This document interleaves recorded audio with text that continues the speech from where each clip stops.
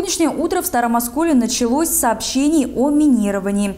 Сотрудников и посетителей автовокзала, медиков и пациентов санатория «Надежда», педагогов и студентов медколледжа оперативно эвакуировали. Спецслужбы проверили все помещения, ни одна угроза не подтвердилась. Также полиция МЧС выезжали во взрослую поликлинику в микрорайоне Олимпийском.